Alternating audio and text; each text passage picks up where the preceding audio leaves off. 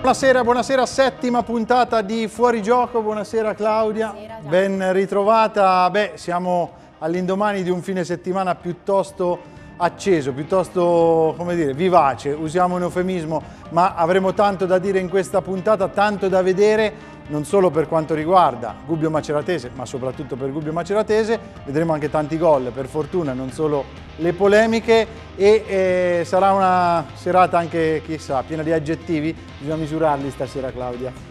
Gli agge- sì, stasera gli aggettivi bisogna soppesarli. Me ne viene in mente uno inadeguato, così, a caso, però eh, vedremo se uscirà fuori nel corso della, della serata. Tanti gli ospiti di questa sera che hanno eh, con noi eh, avranno l'opportunità di parlare di Gubbio Mace- Maceratese e non solo. E allora Claudia, andiamo a presentarti.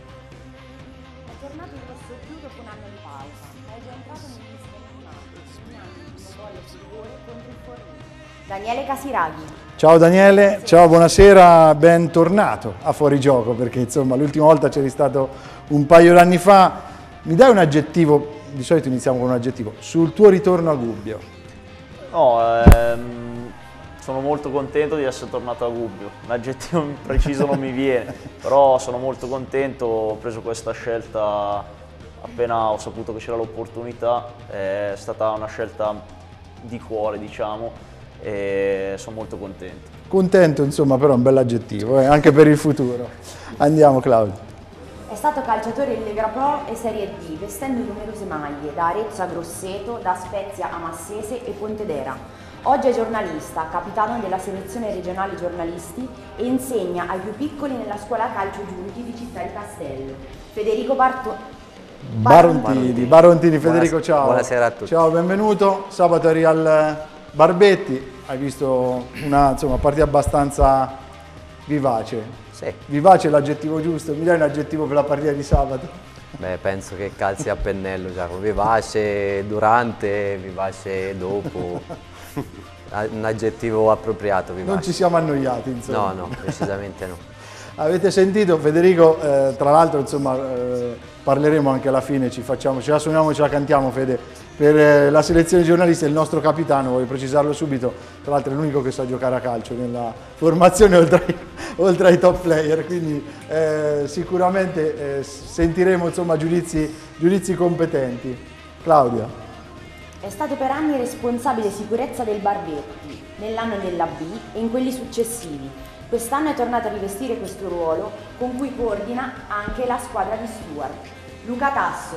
Buonasera. Ciao Luca, buonasera. A te Buonasera. chiedo un aggettivo per la serata di sabato. Ma mm, più che frizzante, possiamo dire ci- tanta. quello che si può raccontare ce lo puoi raccontare. Assolutamente sì. Tu eri vicino diciamo, Sì, sì. all'uscita al direttore di gara, ai Io, guardialine? io ho accompagnato il direttore di gara al- agli spogliatoi, quindi eh, ho visto tutto e mi ha detto tutto. Per quello che non trovo, non so se ne vogliamo parlare adesso o dopo, o me lo dovrai dire te. No, no, ne parliamo, ne parliamo dopo. Intanto presentiamo l'ultimo ospite, anche se mi dicono dalla regia che c'è qualche problemino sul microfono di eh, Claudia. Guarda cosa facciamo, Claudia, in diretta. Guarda, guarda. perfetto. Mi, mi presto volentieri alla bisogna, prego. Per gli opinionisti abbiamo un tifoso che segue, che segue sempre la squadra, ma che è stato anche arbitro di calcio e può darci la situazione meteo dei direttori di gara in Lega Pro. Riccardo Rossi. Ciao Riccardo, buonasera a tutti. bentornato. Grazie. Riccardo è stato per diverso tempo opinionista fisso, moviolista della nostra trasmissione. Ci voleva De Remigis di Teramo per riaverti qui in studio, vedi, è stato, è stata una fortuna. Che dice il meteo sul Gubbio? Eh, abbiamo- rispetto all'arbitro il Ma, meteo reale. Diciamo in generale. in generale. In generale il, me- il meteo è stato frizzante come ha detto eh, Claudio prima, ma secondo me eh, è stata una serata di inesperienza. di inesperienza. Quindi usiamo un sostantivo, non un aggettivo. sostantivo. Serata di inesperienza. Intanto eh, Riccardo comincia a farci entrare un pochino nei temi della serata. Ovviamente vedremo eh, gli episodi un pochino più contestati di questa di questa gara. Avremo anche, tra l'altro, su uno degli episodi, quello forse più clamoroso, il gol annullato, un'inquadratura un po' inedita rispetto alle immagini che gli highlights di solito ci propongono e, e sapete che per eh, la legge degli highlights o prendi quelle o, oppure t'arrangi e quindi noi avremo qualcosa in più grazie al nostro prezioso collaboratore ma eh, soprattutto avremo le parole del dopo partita avremo anche un collegamento telefonico tante immagini come detto e anche i gol. I gol ovviamente eh, di questa giornata. Ma intanto Claudia può eh, raccontarci un pochino i numeri di questa di questa giornata, c'è un problema di audio, a questo punto facciamo una cosa, prima dei numeri eh, rocambolescamente eh, andiamo in sigla e poi dopo la sigla, dopo aver sistemato anche la nostra Claudia, che non ha bisogno di essere sistemata perché anche stasera è perfetta, il problema è ovviamente solo il microfono, è un intruso ma purtroppo bisogna, bisogna tenercelo, eh, andiamo in sigla, la copertina e poi Claudia ci racconterà i numeri di questa giornata.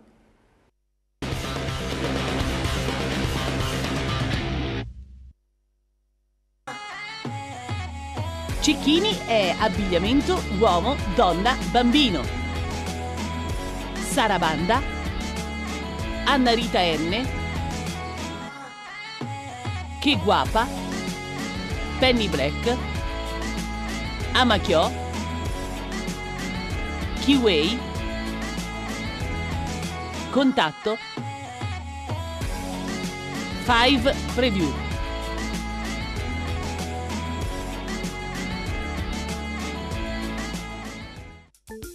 il direttore Franco Pinna è lieto di accogliervi al Castello Cortevecchio.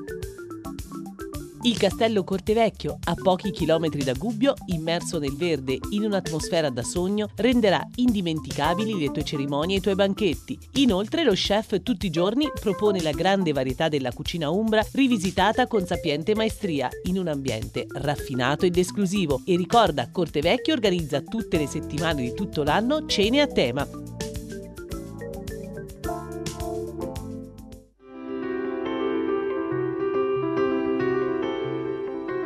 Versatile, durabile e resistente. Può assumere qualsiasi forma per costruire edifici sicuri e architettonicamente belli, in grado di conferire armonia alle città e ai territori. Ambienti sostenibili e intelligenti in cui abitiamo, lavoriamo e costruiamo relazioni infrastrutture che migliorano la qualità della nostra vita, ci proteggono dalle calamità naturali e rendono più bella e organizzata la città. Cemento e calcestruzzo, dopo più di 2000 anni, sono prodotti che realizzano spazi per vivere meglio. Colacem Cola Beton. Tecnologia, innovazione e sostenibilità.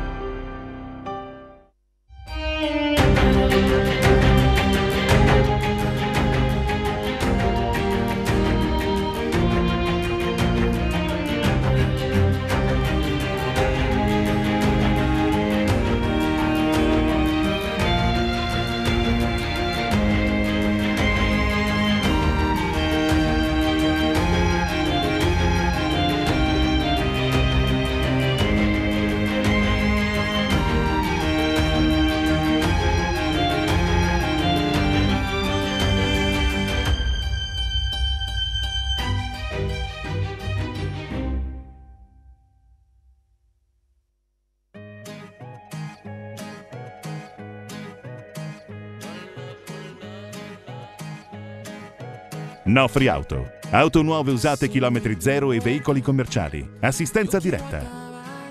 Nofri Auto ti aspetta nelle sedi di Gubbio e Gualdo Tadino. Nofri Auto e anche servizio soccorso stradale. Nofri Auto, la serietà di sempre. Sabato e domenica presentazione della nuova Megane Sporter. Dormi sonni tranquilli, proteggendo la tua casa e i tuoi cari. Affidati a B-Security di B Elettrica dal 1979. Tutto è sotto controllo. Le cose che ami da cui non ti vorresti mai distaccare, oggi possono rimanere con te per la tua serenità e sicurezza attraverso il tuo smartphone o tablet. B-Security di B Elettrica progetta e installa impianti d'allarme, anti-intrusione, videosorveglianza e videocontrollo. B-Security, perché la sicurezza della tua famiglia non ha prezzo.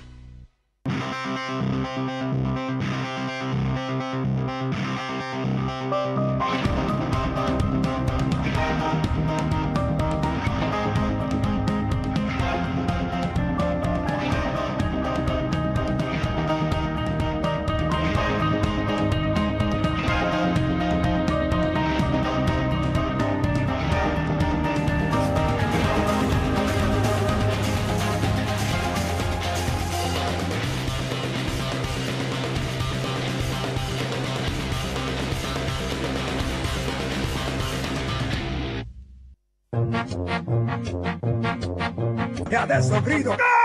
Arbitro, arbitro, soffiare il fischietto. Sette giorni che ti aspetto una vecchia regola del giornalismo sportivo insegna che il miglior arbitro di solito è quello di cui a fine partita non ci si ricorda il nome. Di Daniele De Remigis da Teramo invece il pubblico del Barbetti che ha assistito a Gubbio Maceratese si ricorderà a lungo perché sulla terza sconfitta interna stagionale del Gubbio grava come un macigno la serata a dir poco infelice del direttore di gara e della coppia di assistenti. Premessa doverosa, rifugiarsi negli errori arbitrali è spesso un facile alibi in tutte le categorie per nascondere errori errori e lacune della squadra. Francamente però quello che si è visto sabato al Barbetti rasenta il ridicolo. Non solo una condotta di gara costantemente viziata da atteggiamento indisponente, impressione confermata dai protagonisti in campo, ma soprattutto due gravi errori che hanno inciso in modo determinante sul risultato. Il primo alla mezz'ora, quando sul gol del Gubbio viene sbandierato e fischiato un offside a dir poco cervellotico. Candellone ruba palla agli avversari, conclude sul portiere, la sfera si impenna e diventa un assist per Ferretti che di testa in sacco attacca. Errore pacchiano ma anche pesante perché sbloccata la gara il copione tattico sarebbe stato ben diverso. Si arriva al novantesimo con altri piccoli episodi di ordinaria insufficienza. Quando Palmieri viene lanciato lungo, si allarga, Narciso va per uscire e l'impressione netta dalla traiettoria è che il pallone venga smorzato e deviato, ma l'arbitro ben posizionato indica il dischetto, suscitando la furibonda reazione di Narciso, della squadra e del pubblico. Per la cronaca è il quarto rigore contro una squadra, il Gubbio che fino a sabato aveva subito subito appena 6 gol in 8 giornate, numeri che fanno pensare che gli avversari non stazionino vita natural durante nell'area di rigore rossoblù. Non ci piace, né condividiamo la cultura del complotto, piuttosto la cultura del merito e finora ai rossoblù sono toccati fischietti non sempre meritevoli di stare in questa categoria. Sul resto della gara nulla di nuovo, il Gubbio ha palesato le tante virtù dinamiche, tattiche, individualità notevoli, così come le solite difficoltà a tradurre in gol la mole di gioco, con poche soluzioni offensive a disposizione di Magi, che ha tre attaccanti su sei in infermeria, eppure un centrocampista abile negli inserimenti, come Romano, costretto a dare forfè. Detto questo, onore alla Maceratese di Giunti, che a dispetto della classifica e delle avversarie viste fin qui al San Biagio, non ha fatto barricate, se l'è giocata, ha avuto la fortuna di situazioni favorevoli e le ha sfruttate. Del resto Narciso, quasi inoperoso col Forlì, è stato molto più impegnato di quanto non fosse stato Volpe nelle tre gare interne precedenti. Guardare avanti è l'unica ricetta possibile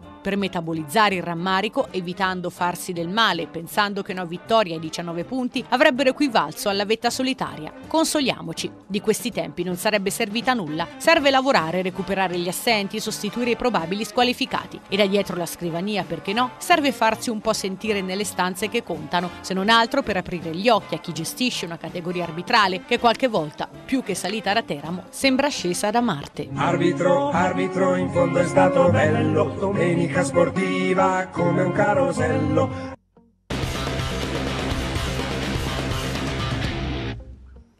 Questa è la nostra copertina, beh come detto il protagonista c'è insomma in questa serata, eh, non è nei nostri studi ma inevitabilmente ne parleremo. Abbiamo precisato, doverosamente premesso nella copertina che non vuole essere ovviamente un alibi perché analizzeremo anche la partita, cercheremo di capire dov'è che comunque il Gubbio deve crescere per evitare che anche qualche errore di troppo da parte di chi guida la gara eh, finisca per incidere pesantemente sul risultato. Vi dovevamo i risultati e la classifica, è tutto risolto Claudia? Sì. Intanto eh, abbiamo anche l'aggiornamento, per ora non c'è, ma insomma seguiamo da vicino l'ultima gara di questa giornata. Sì. Si tratta? Padova-Reggiana. E siamo? Al ventiduesimo del primo tempo, sempre 0-0. Sempre 0-0 al eh, stadio di Padova, tra Padova e Reggiana, ma intanto vediamo le altre gare, come sono andate. San Benettese su Tirol 2-2, Lumezzane Modena 0-0, Fano Ancona 1-1, Albino Leffe Feral Pisalò 2-2, Venezia Teramo 3-1, Gubbio Maceratese 0-1, Pordenone Sant'Arcangelo 3-3, Mantova Bassano Virtus 1-4, Forlì Parma 3-5.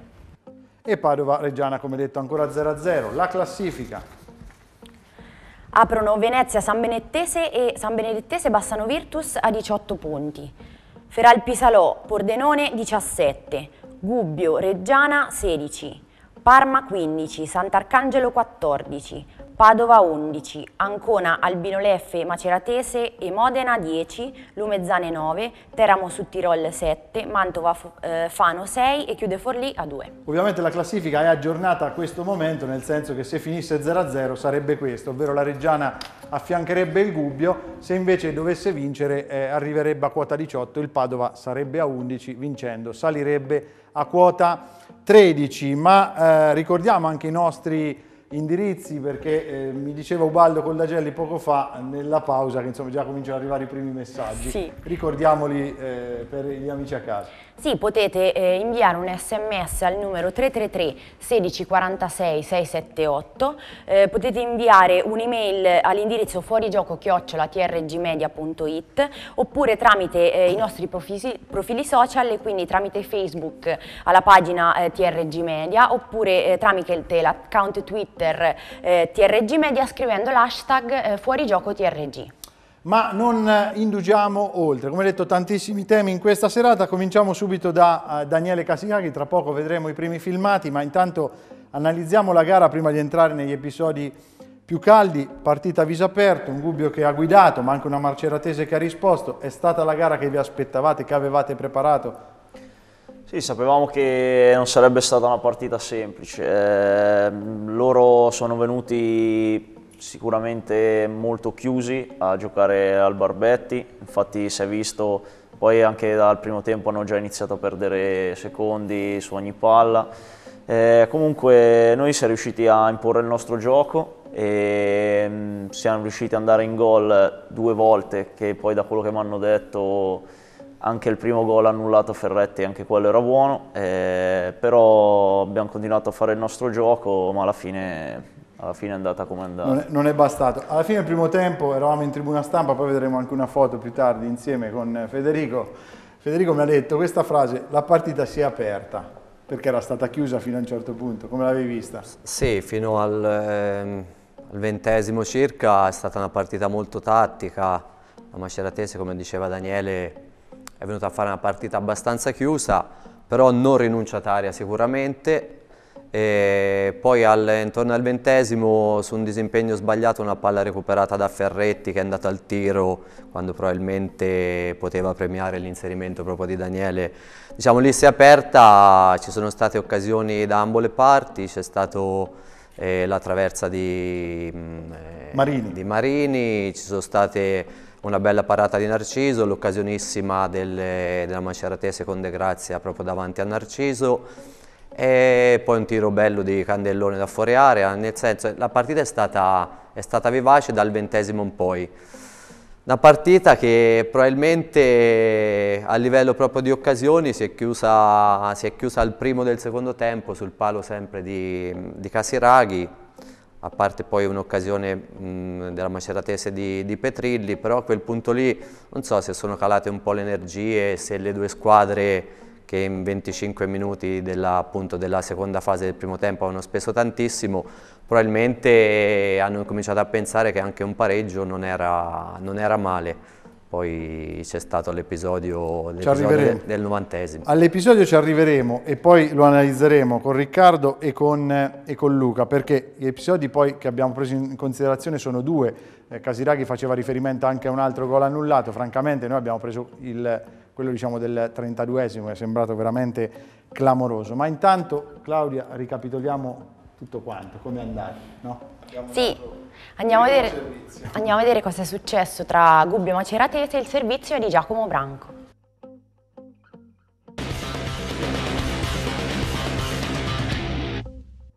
Il Gubbio riceve la Maceratesa al Barbetti per la nona giornata del girone B di Lega Pro. Magi, grande ex della partita assieme a Marini e Croce, conferma il 4-3-1-2 mentre l'Umbro Giunti opta per il 4-3 con un altro ex Malaccari in mediana. Prima chance al dodicesimo, cross di Zanchi dalla sinistra, Valagussa trova la porta con una spaccata acrobatica, gran parata di Forte, poi gioco fermo per fuorigioco di Candellone. Al sedicesimo disimpegno errato di Perna, Ferretti recupera palla e spari il mancino alto sopra la traversa. La risposta marchigiana arriva al diciottesimo, pregevole filtrante di De Grazia per Colombi che scatta sulla linea del fuorigioco gioco e scarica il sinistro radente. Narciso si distende e respinge. Al 25 sugli scudi la ditta degli ex, angolo di croce dalla destra, intero destro al volo di Marini che scheggia la parte superiore della traversa. Il match aperto al 27 quadri taglia in due la difesa gubina, pescando De Grazia tu per tu con Narciso che esce con tempismo, murando il tiro della mezzala ospite. Al 31 ci prova Candellone con un destro a girare diretta all'angolino, ancora forte in tuffo sventa il pericolo. Un minuto dopo Candellone approfitta di uno svarione del duo Gattari-Perna, penetra in aria e conclude a rete. Forte respinge, ma Ferretti mette in gol di testa. L'arbitro De Remigis di Teramo annulla per un fuorigioco, apparso misterioso, visto che l'attaccante rossoblu sembra chiaramente dietro la linea del pallone. A nulla servono le proteste, ma il Gubbio continua ad attaccare e al 37 da una ripartenza Giacomarro osserva al limite Casiraghi, destro potente di poco alto sopra la traversa. Finisce così il primo tempo e dopo una manciata di secondi della ripresa, Casiraghi approfitta di un errore di Malaccari e calcia di destro sul primo palo colpendo in pieno il legno, complice anche la deviazione con i piedi di Forte. Al 53 Turchetta scende sulla destra, cross arretrato per De Grazia, tiro deviato che termina sui piedi di Petrilli che da due passi mette incredibilmente a lato grazie anche al ripiegamento di Valagussa. Il match diviene assai più equilibrato e tattico, Maggi si gioca la carta Conti che subentra Giacomarro al minuto 86 Ferretti crosfa dalla sinistra nella zona di Burzigotti a due passi dalla porta, ma la retroguardia ospite spazza in corner. Minuto numero 88, verticalizzazione di Petrilli per il neoentrato in campo Palmieri che cade a terra in area sull'uscita di Narciso per l'arbitro e calcio di rigore tra le veementi proteste dei giocatori rossoblù e in particolare di Narciso che sembra addirittura rifiutarsi di parare il penalty. Alla fine sul dischetto va Colombi che con un poderoso mancino mette la sfera all'incrocio dove Narciso non può arrivare per il gol che decide la contesa. Clima rovente dopo il triplice fischio finale a farne le spese e Rinaldi che viene espulso per proteste. Ora il Gubbio è chiamato all'immediato riscatto sabato prossimo quando alle 16.30 sarà ospite dell'Ancona al Del Conero.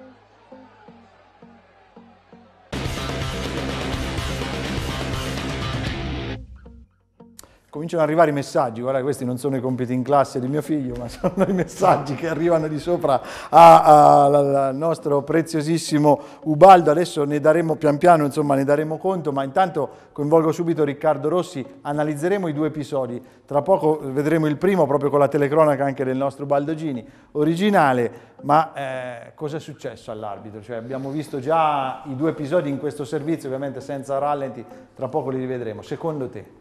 Cioè, Beh, dall'ottica me... di un ex arbitro, che cosa può essere successo? Secondo me non parlerei solamente di arbitro, ma parlerei di terna arbitrale, perché eh, l'arbitro ha, ha, sbagliato sicuramente, è, a mio avviso non è stato all'altezza della partita che gli è stata designata, però tutto sommato eh, le colpe più grandi, eh, levato l'episodio del novantesimo e l'episodio del, del, finale, sono state dei guardaline che non hanno assistito eh, completamente l'operato dell'arbitro, perché se andiamo a vedere il primo gol annullato a Ferretti, eh, l'errore più grave è stato quello del guardaline. Semmai il secondo errore che può aver fatto l'arbitro è stato quello eh, che ha continuato a secondare i guardaline cioè un arbitro esperto, un arbitro che sa eh, che il fatto diciamo, suo, che si accorge magari di non essere coadiuvato in maniera adeguata, eh, parla con i guardalieri, prima cosa fa il primo e il secondo tempo perché il fatto è successo al 32esimo del primo tempo, quindi aveva anche tutto il tempo durante l'intervallo eh, di spiegarsi con i suoi collaboratori. E in più, se vede che il guardaline non è adeguato, inizia a prendere decisioni da solo. Certo. Eh, io almeno quando arbitravo, eh, quando mi accorgevo che un guardaline non era in giornata, in giornata diciamo, oppure era meno esperto, oppure aveva qualche problema, eh, si iniziavano a prendere decisioni in maniera abbastanza autonoma levato qualche fallo laterale, le cose certo, più banali che continua a fare le guardaline, certo. però eh, l'arbitro è andato in confusione secondo me, soprattutto il guardaline, i, i, due guardaline. Sì, sì, perché poi nessuno dei due ha sbagliato. I due guardaline, ma eh, più che altro è stato... un controfallo fischiato insomma, nei minuti finali. Ma più che altro la, la partita, eh, Daniele penso che qui questa sera può confermare, ma l'abbiamo vista tutti, non è stata una partita eh, difficile dal punto di vista agonistico, caratteriale, cattiva, no. non è stata una partita cattiva, quindi è stata eh, segnata da questi episodi che però purtroppo non è la prima volta che capitano al GUB in questa stagione e purtroppo condizionano i risultati delle partite. Certo. Cioè... Tra, po tra, poco vedremo, proprio analizzeremo i due episodi. Un flash con Luca Tasso, non è stata neanche una partita difficile sul piano dell'ordine pubblico, due tifoserie no. assolutamente tranquille. Guarda, una partita tranquillissima, anche perché gestita in maniera tranquilla, senza nessun problema, né dall'una né dall'altra parte. Quello che io ho notato è che c'era un pochettino di tensione. Quando noi facciamo la riunione con eh, il briefing all'interno dello spogliatoio c'era un po' Prima di della tensione. partita? Prima della partita c'era un po' di tensione. Questo non lo so perché. C'era un po' di tensione. E poi questa tensione l'abbiamo ritrovata sul campo. Però, si è riversata sul campo. Sì, sì. Primo punto interrogativo, c'era tensione prima della gara, non capiamo perché, ma cerchiamo di capire, ma sarà difficile, perché è stato annullato questo gol. Intanto c'è qualche aggiornamento da Padova, Claudia? Sì, Padova avanti una rete a zero sulla Reggiana su calcio di rigore di Russo. Russo su calcio di rigore sblocca minuto 33 nel primo tempo, dunque già un risultato, eh, già si sblocca il risultato di Padova, si è sbloccata anche in Serie A, Palermo-Torino, ma quello ci interessa un po' di meno, eh, ci interessa però intanto sentire la telecronaca di 40 secondi perché abbiamo voluto selezionare proprio tutta l'azione, perché qualcuno anche poi sui social si sono scatenati, ha detto forse era in fuorigioco Candellone sul colpo di testa a centrocampo, vediamo com'è andato.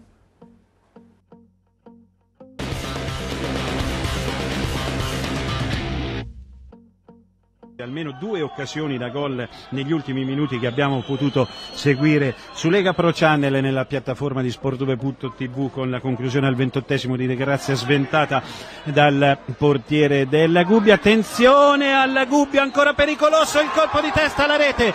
Fuori gioco ancora fuori gioco il più piccolo e il più basso che è andato a segnare di testa e si tratta del giocatore del Gubbio, questa volta ci sono le proteste mh, per la formazione del Gubbio con Candellone che è andato a concludere la palla vacante all'interno dell'area di rigore. E la conclusione poi per la rete annullata.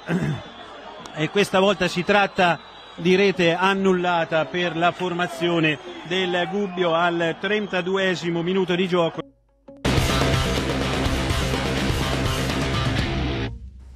Le parole di Ubaldo Gini nella telecronaca di SportTube. Eh, Daniele, la sensazione dal campo qual è stata? Insomma, che cosa vi ha detto? Tu sei stato tra quelli che sono andati a, Io- incontro all'arbitro a chiedere perché. Sì, sono, sono corso subito dall'arbitro perché era veramente inspiegabile aver annullato quel gol lì perché nessuno si aspettava lo annullassi. Eh, le sue spiegazioni sono state fuori gioco e infatti Guardialine nelle immagini si vede che alza la bandierina. Tra l'altro alza la bandierina quando sul pallone va Ferretti, Esatto, come che- se sul rilancio di testa Ferretti fosse davanti a tutti. Se possiamo rivedere tra l'altro anche al rallenti, si vede che questa è l'altra angolazione che vi dicevamo, qui perché proprio si vede che Ferretti sul tiro di Candellone, che poi credo sia toccato dal portiere, è nettamente dietro Candellone, casomai fosse stato sbandierato questo. Ma la, la situazione, ecco, la vediamo qua nettamente, questa è un'azione regolarissima che eh, anche fosse appunto un passaggio diretto, eh, Ferretti si trova dietro il giocatore che effettua il passaggio, per cui il fuorigioco non ci sarebbe. Ma se rivediamo l'azione dall'altra angolazione, quella per capirci di SportTube, tra l'altro il rallenti è molto effic- efficace, si vede eh, Federico che il guardialine alza la bandierina quando va sul pallone Ferretti, eppure Ferretti era partito come gli altri. Ma lui segue l'azione. Ecco, la vediamo qua. Sì, aspetta Guardate. di vedere che va sulla palla, poi lo vediamo sullo palla. sfondo e adesso che alza. Eh, adesso alza che va su. sì. E, mm, io ho fatto anche oggi per curiosità un fermo immagine. Ah, ti sei fatto sì, sì, sul colpo di testa, diciamo appena è partita la palla da centrocampo. Si vede, il- e l'assistente è posizionato anche bene, ma si vede anche bene che Ferretti è almeno 2-3 metri dietro i due centrali. Quindi o- posizione onestamente, sì, poi con la velocità chiaramente arriva, arriva quasi prima, i due centrali poi si ostacolano tra di loro. Sì, addirittura credo che si siano Tra fatti loro, fallo tra sì, loro, sì, si sono ostacolati tra di loro, goffo. però onestamente io ripeto, sembra posizionato bene, ma questo è un errore grave, però la sensazione che ho avuto io eh, diciamo i primi 20 minuti è che l'assistente maggiormente in difficoltà fosse quello sotto la tribuna. Sì, quest'altro diciamo. Sì, ci sono stati almeno tre situazioni della Maceratese, una tra l'altro quella di Colombi che va al tiro, mi sembrava evidentemente fuori gioco, ma dopo dicevamo anche fra di noi, cioè sembrava quasi in difficoltà proprio anche a livello di corsa. Io non so se questa dopo tensione che c'era all'inizio è perché magari c'era uno stato d'animo, una situazione fisica prima della partita probabilmente di- dif- difficoltosa da parte di qualcuno della terra. Comunque insomma il altrimenti- guardialine sotto la tribuna già non prometteva bene, l'altro Mm, no. non ha mantenuto neanche perché si è trovato insomma a condizionare è, è ovvio, questa è un'azione che poi condiziona la partita, 1-0 cambia la partita. Però detto questo Giacomo, se, se me lo permetti... Sì, poi parliamo anche della partita eh. però, certo, certo. No, no, no, ma è chiaro, parliamo anche della partita, però è ovvio, quando la partita si sblocca e poi cambia Episodio... la lettura tattica sì, della sì. situazione. Noi eh, in ogni caso abbiamo proprio per questo voluto dividere in due parti le interviste che abbiamo effettuato con Magi e con Croce, proprio per eh, sezionare la parte riferita agli episodi, poi vedremo anche il rigore, da quella riferita alla partita, perché merita una riflessione anche la partita. Claudia, andiamo a lanciare le interviste. Sì, vediamo insieme il primo blocco di interviste post gara con Magi e Croce.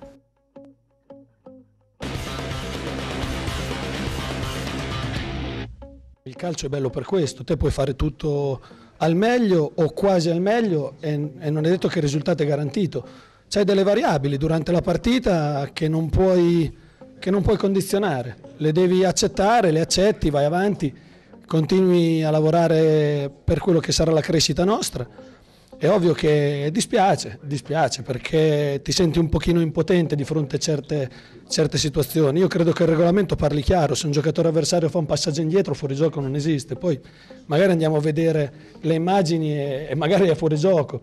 Ci ritroviamo sempre a commentare episodi che non rivedendoli fai fatica, però ripeto, secondo me oggi la partita, il risultato è stato fortemente condizionato da cose che non dipendono da noi. Ecco. Però credo che oggi non, non sia passato attraverso il demerito del Gubbio la sconfitta, quindi è difficile commentare una partita del genere, ecco. mi basti pensare anche ai minuti di recupero, un minuto al primo tempo, tre minuti al secondo, si è stati fermi tre minuti sul calcio di rigore, degli episodi che purtroppo ti hanno portato via, poi magari fa il recupero ancora più lungo, prendi il 2-0 eh, perché nel calcio non si sa mai.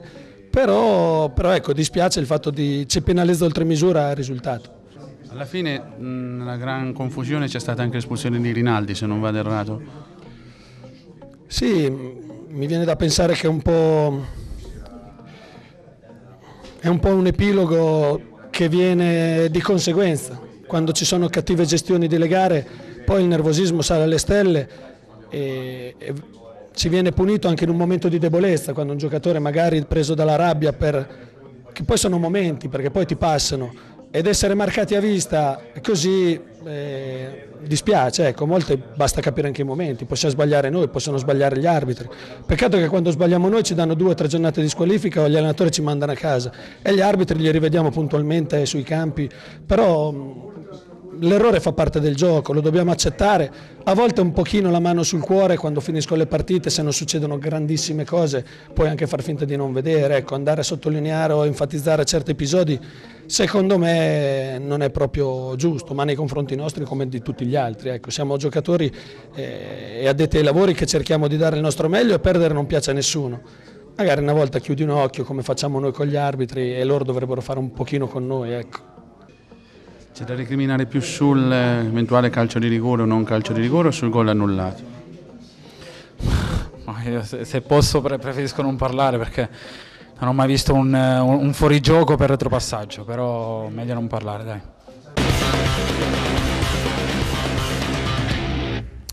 Uno dei nostri messaggi, il Gubbio merita rispetto, non è possibile che ogni santa giornata di campionato sia taroccata da un qualcosa che non sia solo la forza degli avversari. Questo chiaramente è la voce di un eh, tifoso che ricorda eh, la scuola di Calvarese che fa proseliti. C'è questa combinazione, eh, Riccardo, tra la città d'origine di De Remigis e sì. il famoso, famigerato Calvarese che insomma col Gubbio ne ha combinate di cotte e di crude, però la carriera alla fine l'ha fatta perché insomma tuttora in Serie A e quindi evidentemente portiamo fortuna. Eh diciamo. sì, eh.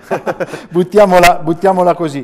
Eh, non abbiamo aggiornamenti, Claudia, giusto? Sì, è finito adesso il primo tempo. Primo tempo, 1-0 Padova, 1-0 Padova. Reggiana. Vediamo il secondo, il secondo episodio eh, che commentiamo insieme e poi andiamo ovviamente ad analizzare la eh, partita. Secondo episodio sempre con la telecronaca di Ubaldo Gini.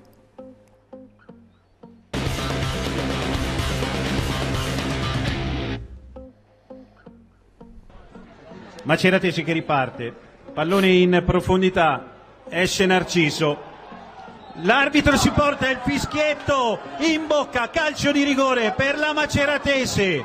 Per la Maceratese, guardate le proteste di Narciso. il calcio di rigore per la Maceratese. Attenzione, proprio sul finale di gara. Tante le proteste da parte dei giocatori del Gubbio a testa bassa Magi. Non ha più parole il tecnico del Gubbio.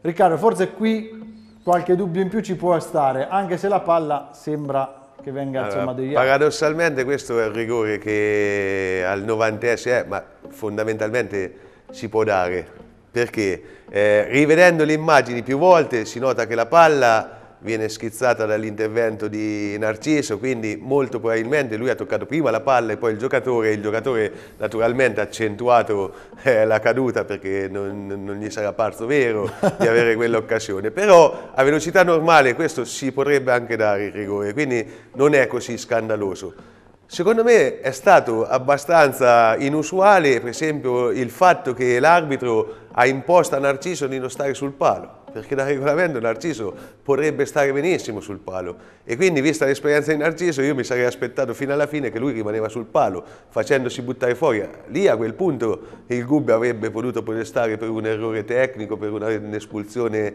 eh, diciamo Ingiustificata. ingiustificata.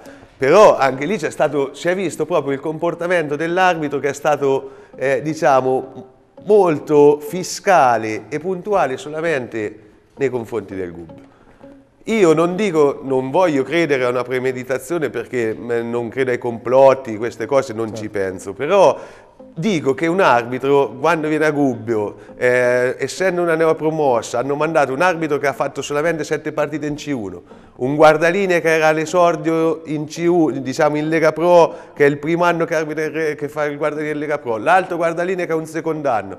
Secondo me eh, il Gubbio deve incominciare, la società del Gubbio deve incominciare a chiedere alla Lega Calcio che venga trattata alla stregua degli squadroni e dei nomi che abbiamo in questo girone, perché se andiamo a vedere le nove partite del Gubbio abbiamo avuto cinque arbitri che sono fra i primi due anni eh, di Lega Pro, solamente un arbitro al terzo anno, mentre andiamo a vedere squadre come il Venezia, eh, il Parma, sempre per fare i soliti nomi, che hanno arbitri più esperti, guardaline più esperti. Questo non implica che magari sbaglia anche il guardaline più esperto, può sbagliare anche l'arbitro che, eh, va, eh, che per, va per la maggiore ed magari è predestinato a salire di categoria. Però eh, una protesta in questo senso secondo me il Gubbio dovrebbe fare, anche perché andavamo a fare una partita dove eh, paradossalmente il Gubbio poteva ritrovarsi primo in classifica e la Maceratese aveva perso la partita Di martedì. eh, di, di martedì e quindi aveva il dente avvelenato perché si trovava in una situazione di classifica abbastanza precaria, quindi non era una partita facilissima sulla carta. Quindi Certo. secondo me la protesta pacata, diciamo, eh, che deve fare il Gubbio verso la, la- la- la Lega Calcio è quella di avere più rispetto sulle designazioni arbitrali. Certo. Luca, ci racconti un pochino il finale, perché poi, poi vedremo anche, rivedremo qualche immagine, fine, fine gara, Guarda, dopo questo ti- recupero, ti va la rubo- Rinaldi, insomma, viene espulso, Certo, però insomma clima abbastanza Ti acceso. rubo un secondo per quello che ha detto prima. Ti dico, ti posso garantire che la Gubbio Calcio già ha fatto questo, questo percorso. Sì, poi sentiremo Pannacci Esatto, quindi oggi sono riuniti, ha già fatto questo percorso proprio per chiedere quello che stavo dicendo prima. Dunque, io stamattina eh, leggendo i giornali ho trovato una notizia un pochettino particolare, mi hanno chiamato dalla questura che cosa era successo, che non era successo. Io l'ho visto, l'ho vissuto in prima persona, perché noi abbiamo l'articolo 2 del NOIF che in caso di dobbiamo andare a scortare l'arbitro, portarlo dentro, se no veniamo multati o addirittura squalificati. Se vedete io mi accosto con uno steward e porto dentro, chiedo al direttore di gara di, di allontanarci, di portarci verso il tunnel. Mentre camminavamo, quindi ci indirizzavamo verso il tunnel, lui mi fa, ah, sono stato colpito da una pietra. Cosa che io guardo non c'era assolutamente niente. Però io ho detto, guardi, è meglio che ci spostiamo e andiamo dentro. Così è finita. Mm, quindi tutta questa, eh, questo- questo- questa confusione io non l'ho, notata, non l'ho vista. Tanto che poi sono rientrato dentro in spogliatoio ad accertarmi di quello che era successo, come andava, l'arbitro mi ha garantito che andava tutto bene e quindi non c'era problema. È vero che all'interno del campo c'è stata tanta confusione. Forse è una confusione un pochettino più Tra accentuata. l'altro mescolata, fammi aggiungere, a una scena bellissima, quella delle due squadre che andavano Esatto. a salutare i tifosi, Esatto. facevano festa, era paradossale questo. Esatto. Addirittura Maggi è andato anche ad essere acclamato dai tifosi della tifosi della Maceratese, quindi insomma, si ricordavano diciamo di che lui. è rimasto. Poi tutto questo discorso credo che anche l'arbitro doveva un attimino, come avete detto prima, cercare di smorzare no, gli animi, perché eh, anche l'animo di dare il cartellino rosso non è che c'è stata una foga diretta sull'arbitro, quant'altro, eravamo tutti lì, quindi si capisce anche magari l'enfasi della persona che al 91esimo, quando prendi un rigore, due gol sono stati annullati, quindi va anche vista la situazione, sì. un po' di buonsenso, questo lo chiediamo tutti, lo chiediamo dall'inizio della gara, a partire dagli steward per arrivare all'arbitro. Questo secondo me non c'è stato. Però poi è normale che dentro lo spogliatoio è partito il battibecco, ci sta i tifosi che hanno eh, praticamente un pochettino caricato con parole il, il direttore di gara, ma questo su tutti i campi avviene. Certo, certo. Quindi non Finché possiamo verbale, no. assolutamente non possiamo penalizzare ormai una città, una tifoseria che anche ieri, cioè sabato, ha dimostrato secondo me una tranquillità assoluta, quindi confrontandoci con i giocatori, applaudendo i giocatori anche a fine partita. Questo sarebbe per me l'assurdo. A proposito di questo, poi chiuderemo questo capitolo con l'intervista a Giuseppe Pannacci, perché ovviamente la società, come ha detto Luca Tasso, si è mossa, domani ci sarà comunque eh, sicuramente il responso da parte del giudice sportivo, vedremo come andrà, si è mossa, lo sentiremo tra poco. Noi una piccola parentesi l'apriamo, ma velocissima, con riferimento, ha detto eh, diciamo, Luca a, a un episodio poi accaduto sabato sera eh, in un ristorante del, diciamo, de- in una frazione di Gubbio dove si trovavano appunto a cena i tre eh, giudici di gara. Noi abbiamo avuto l'opportunità di parlare proprio oggi con il gestore che ha eh, diciamo, ridimensionato un pochino quella che erano state le ricostruzioni della primissima ora. Un gruppo di ragazzi eh, è arrivato all'ingresso del locale, uno solo è entrato, eh, ovviamente ha chiesto così informazioni eh, in merito ai, ai tre che erano stati indirizzati da un albergo al ristorante, avevano chiesto una sala riservata, eh, alla fine compresa un pochino l'atmosfera, il gestore ha comunque eh, gestito eh, proprio in senso stretto la situazione, ha evitato qualsiasi eh, contatto, eh, sono stati per precauzione chiamati i carabinieri che peraltro quando sono arrivati eh, i ragazzi che erano fuori eh, non, non c'erano più.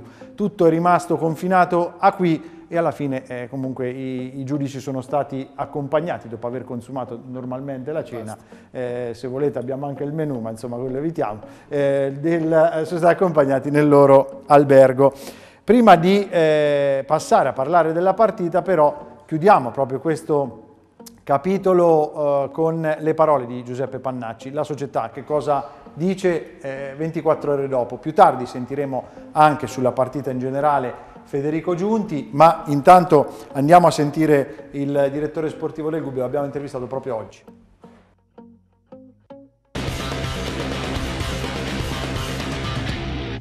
Siamo con Giuseppe Pannacci, direttore sportivo del Gubbio Calcio. La società come intende diciamo, reagire a quello che è successo sabato sera? Ma guarda, eh, diciamo che la situazione va divisa in due step. Uno per quello che riguarda, concerne il discorso della partita che è stato sotto gli occhi di tutti, quindi chi ha visto la partita ha visto un Gubbio determinato, un Gubbio che ha fatto la sua partita indipendentemente da quelle che sono state le dichiarazioni dei diretti interessati alla fine della partita col quale avevano portato in porto a casa tre punti, quindi erano contenti e ne avevano ben ragione eh, su alcune situazioni che sono stati degli episodi veramente inconcepibili.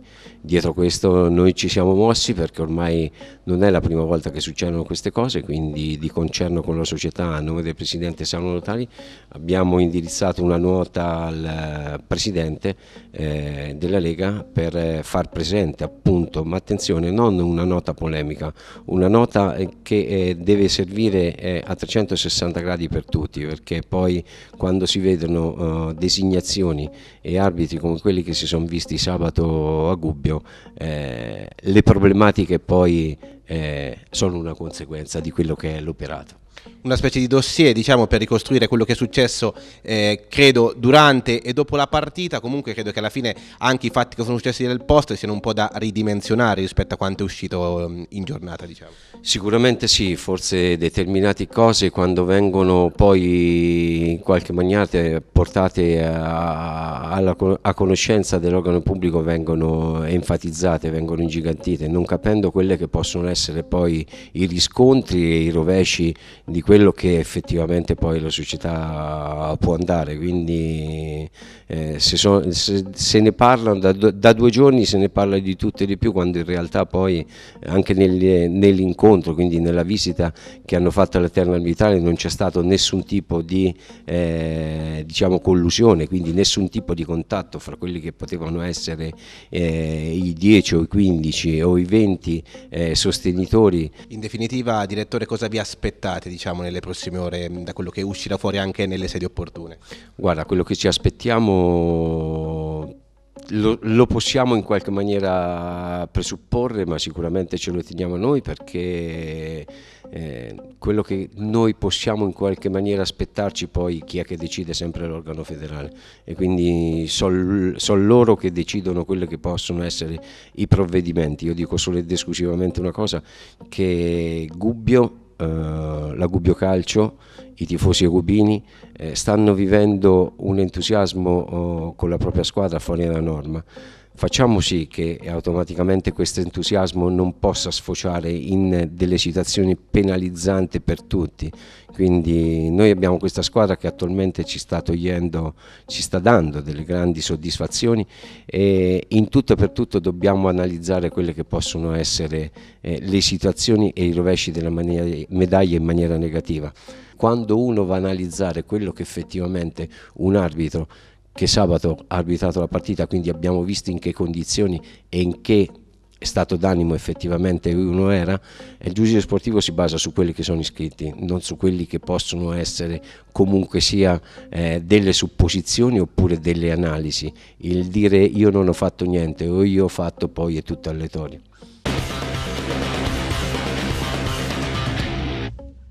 Vedremo cosa ci sarà scritto nel referto dell'arbitro, eh, lo capiremo domani.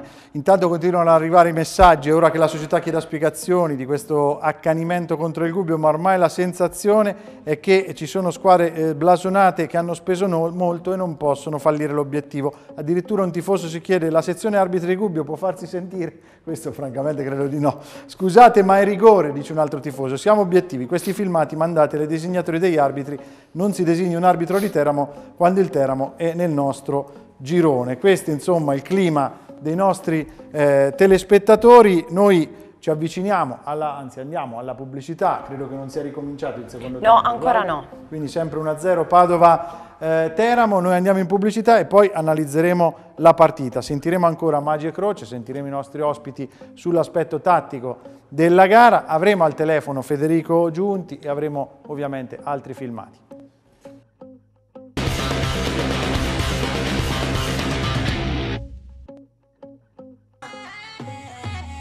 Cecchini è abbigliamento uomo, donna, bambino. Sarabanda, Anna Rita N, Che Guapa, Penny Black, Amachio, Kiway, Contatto, Five Preview.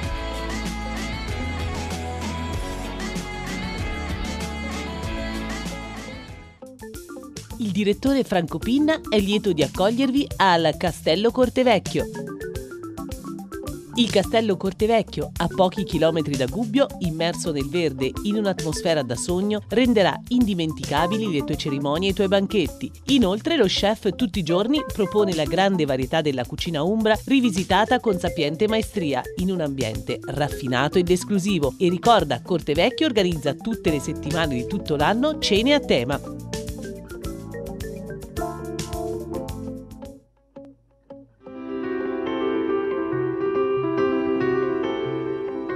È versatile, durabile e resistente. Può assumere qualsiasi forma per costruire edifici sicuri e architettonicamente belli, in grado di conferire armonia alle città e ai territori. ambienti sostenibili e intelligenti in cui abitiamo, lavoriamo e costruiamo relazioni. Infrastrutture che migliorano la qualità della nostra vita, ci proteggono dalle calamità naturali e rendono più bella e organizzata la città. Cemento e calcestruzzo, dopo più di 2000 anni, sono prodotti che realizzano spazi per vivere meglio. Colacem Cola Beton. Tecnologia, innovazione e sostenibilità.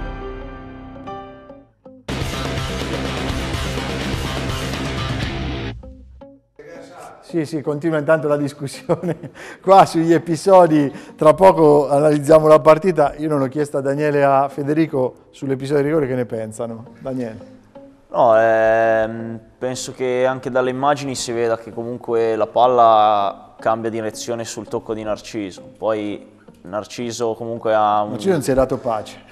Conoscendolo e vedendo l'esperienza che, che ha, eh, se deve protestare così è perché proprio è sicuro di, di non averlo toccato. Quindi anche quello inspiegabile. Quando l'hai visto sul palo che non voleva parare, che hai pensato? Come diceva prima, anche mio papà ha fatto l'arbitro in passato e lui sul palo volendo poteva stare, anche lì l'arbitro andando a dirgli... Spostati. Esatto, ma poi eh, io, noi stando in campo abbiamo visto proprio che è andato in totale confusione, addirittura chiedeva ai giocatori della Maceratese se Narciso la, avesse toccato l'attaccante, cose che Sperava, un arbitro, insomma, un arbitro non, non deve fare. Aiuto, ma forse dalle persone meno, meno indicate, insomma. Federico, non credo che quando un attaccante va giù lì e gli danno rigore adesso il premi Nobel va bene che insomma siamo freschi di premi Nobel, ma insomma non credo ci sia l'attaccante che dice beh no, guarda, mi ha toccato la palla. No, ma anche perché onestamente dalla dinamica è un rigore che, che ci può stare.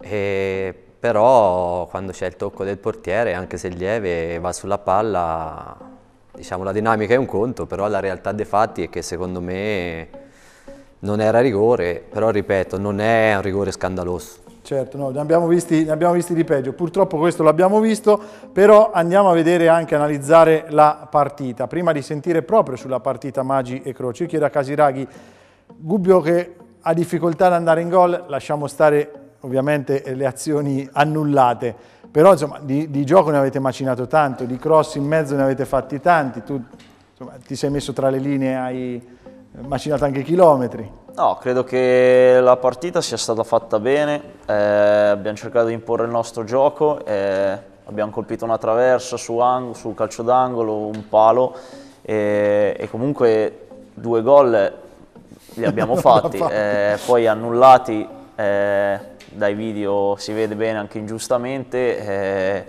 quindi comunque le occasioni ci sono state, eh, purtroppo è stata un po' condizionata la partita. Federico, da osservatore asettico, era la prima partita che vedevi del Gubbio, era una partita da 0-0, da 1-1, lasciando stare gli episodi contestati? Ma probabilmente era più una partita da 1-1 perché mh, numericamente il Gubbio sicuramente ha avuto più occasioni, ha calciato più volte in porta, ha preso un palo, una traversa, però bisogna dire che probabilmente le occasioni più nitide diciamo, più clamorose le ha avute la Maceratese, quindi nel complesso secondo me era una partita che il Gubbio avrebbe potuto vincere ai punti, il pareggio diciamo che dalla metà del secondo tempo era un risultato che sembrava Gradito. che potesse stare bene entrambe le squadre, detto questo la Maceratese non ha rubato assolutamente niente dal mio punto di vista perché è una squadra che è venuta con un'idea ben precisa che ha messo in pratica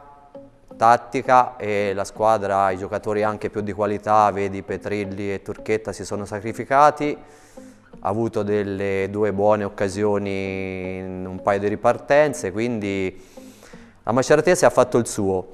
Il Gubbio secondo me tatticamente ha trovato delle difficoltà proprio perché la Maceratese si è chiusa bene, le linee di difesa e di centrocampo in tante situazioni hanno impedito proprio a Casiraghi da trequartista di entrare in gioco come ha fatto altre volte e quindi era costretto in alcune situazioni anche un attimino a defilarsi.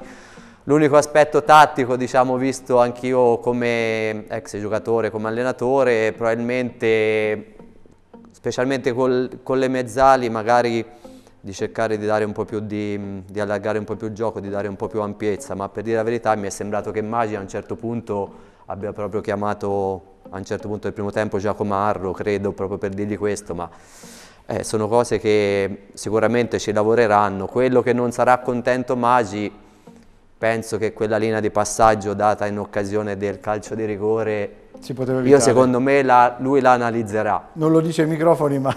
no, ma va bene, a caldo dopo ci sta, però penso che al novantesimo quella situazione con Petrilli che ha, ha, dato una bellissima palla in verticale, ma una palla a rosoterra secondo me fra terzino e centrale lì... La devono chiudere? Sì. Sentiamolo proprio Maggi, insieme a Croce, sulla partita.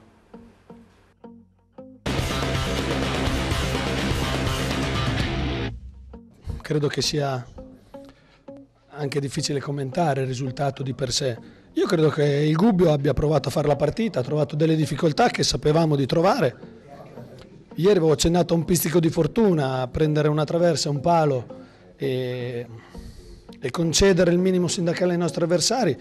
Di più non possiamo fare. Ecco, io credo che è difficile rimproverare qualcosa alla mia squadra, quindi da una parte sono contento eh, dall'altra cerchi di vedere il bicchiere mezzo pieno, c'è una sconfitta in casa, però credo che la sconfitta sia determinata da fattori nei quali noi possiamo fare poco. Ecco. La gran mole di lavoro, tantissimi traversoni all'interno dell'area rigore, purtroppo si ripresenta il problema della finalizzazione. Sì, è un po' quello che è, un po quello che è l'inizio dell'azione nostra, cerchiamo sempre di costruire dal basso perché non avendo particolari centimetri in zona d'area di rigore è difficile poi giocare con la palla lunga e attaccare la seconda palla. Poi trovi squadre in casa che si chiudono e ripartono proprio con questo tipo di gioco e un po' le soffriamo. Però ecco, ripeto, ai ragazzi faccio fatica a rimproverare grandissime cose, poi si può migliorare ed è giusto migliorare e andremo ad affrontare le cose che non si è riusciti a fare. Io credo che oggi invece noi abbiamo perso uno scontro diretto per la salvezza e e quindi questo è il, nostro, è il nostro obiettivo, il punto di vista. Ripeto, dispiace perché poi se fosse finita 0-0 magari la partita sarebbe stata un pochino come la previsione di ieri, un po' bloccata, noi abbiamo cercato di fare qualcosa in più, però non ci siamo riusciti, il palo la traversa, è vero che anche loro hanno preso un palo ma da palla ferma, quindi fosse finita in pareggio, mi sembra un po' di commentare la partita col Padova, col Padova abbiamo fatto tutto noi, con loro magari non è proprio colpa nostra, però il risultato non cambia, però deve rimanere la consapevolezza di, di essere sulla strada giusta. Noi, noi, cerchiamo di giocare e dove, arriviamo, dove arriveremo non lo so, però credo che giocando hai più possibilità di fare il risultato piuttosto che non farlo. Purtroppo il risultato ci dice, ci dice che abbiamo perso, però sento di dire che comunque la nostra partita l'abbiamo fatta. E sono gli episodi che come magari ci hanno dato favorito altre volte, questa volta ci siamo andati contro, perché comunque la partita l'abbiamo fatta sempre e solo noi, è un episodio a 5 minuti alla fine ci hanno dato conto, dobbiamo, dobbiamo migliorare anche, anche, in questo a questo punto, perché è la seconda volta che ci capita, soprattutto anche col Padova, quindi dobbiamo cercare di migliorare anche questo. Che cosa è mancato, al di là poi delle decisioni arbitrali e tutto quello che ne è venuto fuori? Ha mancato, se vediamo abbiamo creato tantissime occasioni, ci è mancata la stoccata vincente, ehm, perché comunque penso che abbiamo giocato a lunghi tratti a una metà campo sola, poi il calcio pure è questo, conta chi la butta dentro, loro diciamo, sono stati bravi a, a crearsi l'episodio e dobbiamo migliorare anche in questo, a, non, a, non, a, cercare di non creare questi episodi che possono, possono svantaggiarci come le decisioni dell'arbitro che comunque non stanno a decidere. Credo che noi dobbiamo essere bravi a, a fare tesoro di quello che abbiamo fatto fino ad oggi, non pensare di fare il passo più lungo della gamba e andare a giocarci la partita e poi alla fine vedere cosa siamo riusciti a portare a casa. Io vedo la squadra in salute, gioca, sbagliamo alcune cose, però a volte gli errori nostri sono condizionati dalla troppa voglia di fare, non dalla mancanza. Quindi è un errore, un difetto che è più facile anche correggere.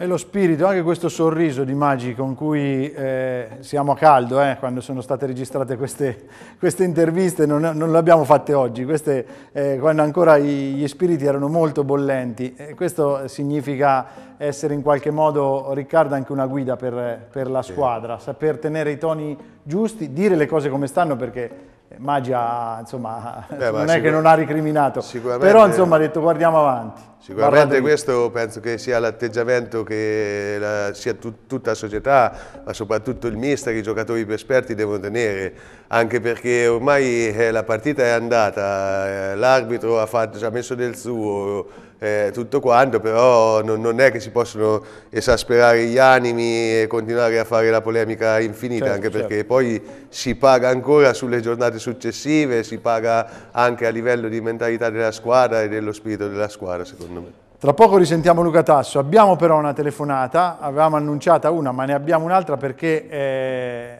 ci eh, contatta il vicepresidente del Gubbio Filippo Barbetti. Buonasera Filippo. Buonasera, no, sono il padre. Fernando. Ah, Fernando, allora, allora mi è stata data un'informazione anagraficamente diversa, ma siamo in famiglia. Filippo vi manda i saluti dalla Germania, da Wolfsburg, dove questa sera è andato per motivi di lavoro. Ci dica Fernando. Beh, tanto buonasera a tutti, eh, gli spiriti sono sempre bollenti, caro direttore, anche questa sera. è, è difficile raffreddare. È difficile raffreddare. Mm, volevo semplicemente ritornare sull'episodio del gol annullato per esattezza di osservazione e di informazione. Non avete messo in evidenza una cosa molto importante, che l'assistente dell'arbitro alza la bandierina nel momento in cui quattro giocatori entrano in contatto al limite dell'area di rigore. Quindi non dà il fuorigioco per passaggio successivo. Evidentemente lui ha visto un fallo o altre cose, solo questo.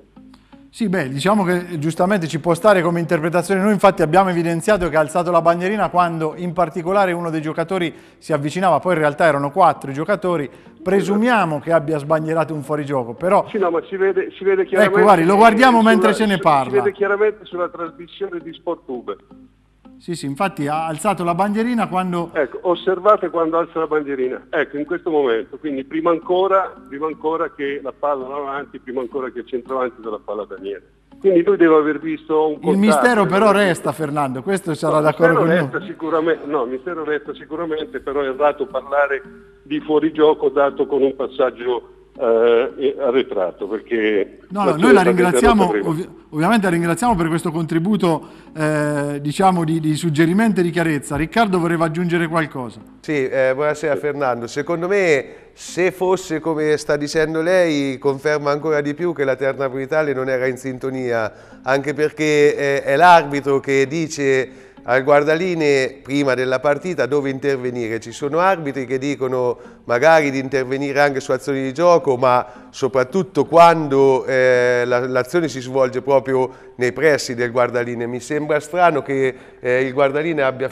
cioè, abbia consigliato un fallo eh, al limite dell'area all'arbitro perché in questo caso l'arbitro significa che proprio davvero eh, non aveva nessuna prima Daniele ci dicesse competenza. quando siete andati diciamo, a circondare l'arbitro l'arbitro vi diceva che era fuori gioco sì.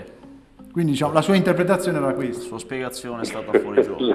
L'arbitro era talmente in tale confusione eh, probabilmente sì. Errate ne ha dette talmente tante durante la partita sì no no per carità soltanto, però ecco per, era, era... Soltanto una, era soltanto una certo no no no è per, è per eh, sentire un testimone che era sul posto. Federico?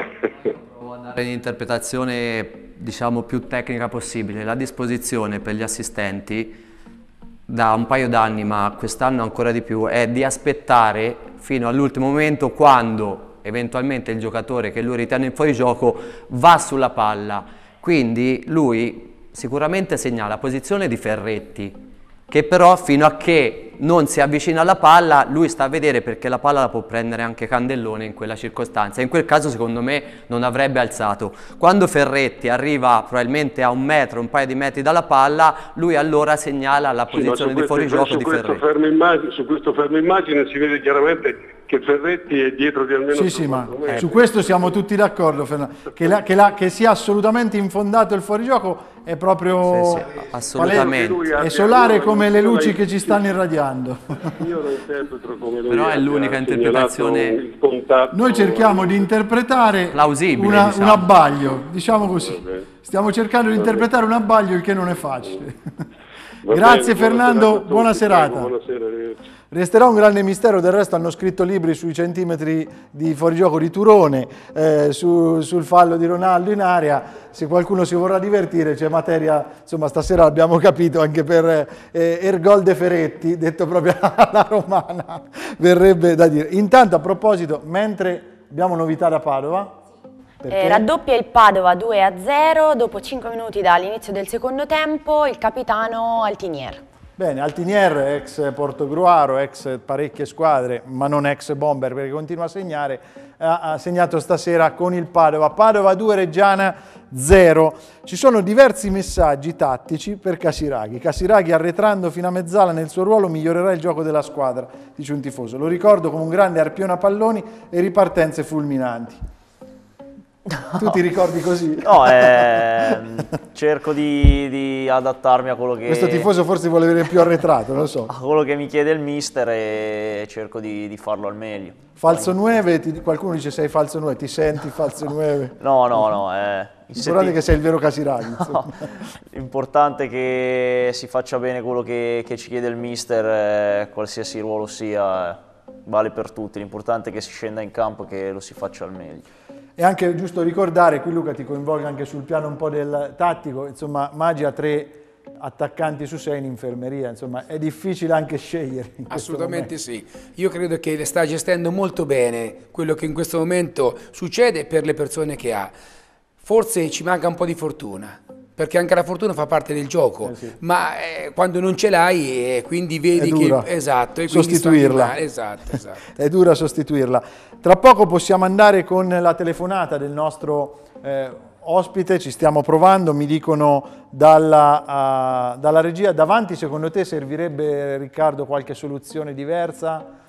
Beh, eh, Casiraghi, visto che l'argomento lo vedi meglio trequartista. No, no, io Cascaghi lo vedo bene come, lo vedo bene come sta. Beh, sicuramente eh, queste prime nove giornate di campionato ci hanno detto che eh, abbiamo avuto degli infortuni e quindi eh, alcuni giocatori ancora non possono essere nemmeno giudicati appieno, tipo Musto che ha fatto bene magari le prime giornate poi eh, si è infortunato, Eh, lo stesso Ferri Marini che è infortunato da, da lungo tempo. Reclamato in un Quello, messaggio. quello che magari però viene in mente sin da quest'estate, sin da- da- dalla campagna acquisti insomma, che, che fa- che faceva il Gubbio, che ha fatto il Gubbio, che una punta magari con più esperienza per la categoria farebbe comoda questo Gubbio. Ora come ora però io sono anche dell'idea che fino a gennaio secondo me il Gubbio deve restare così, perché vedendo i nomi dei svincolati, vedendo eh, i prezzi dei svincolati, eh, secondo me non vale la pena adesso muoversi sul mercato eh, per l'appunto aspettando anche gli infortunati. Poi a gennaio si vedrà se il Gubbio cioè, avrà una situazione in classifica eh, che richiede una punta per eh, magari ambire a qualcosa di più della salvezza, eh, sicuramente la società saprà valersi sul mercato di gennaio. A proposito, abbiamo il collegamento, ma prima abbiamo proprio una notizia, Claudia, sulla Maceratese, Sì. che riguarda proprio gli svincolati. Poi Sì. sentiamo il nostro ospite se ce la conferma. Il centrocampista Alessio Cannoni, ex Fondi Sa- eh, Savona e Propatria, è pronto a firmare eh, per la Maceratese. Eh, l'accordo con il giocatore attualmente svincolato verrà ufficializzato nelle prossime ore.